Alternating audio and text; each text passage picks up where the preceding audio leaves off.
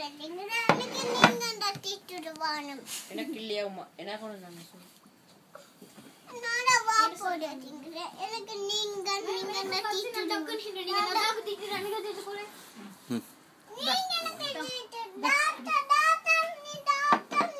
அப்ப உங்களுக்கு. நீங்க கைய போடணும் உங்களுக்கு கைய போட தின்ன தெரியும் நான் உங்களுக்கு வாடா உங்களுக்கே நாங்க இது ஒண்ணும் கொட்டுறல. சோ ஒரு மணி ஆடு அது எந்த செய்யற நீ இதுங்க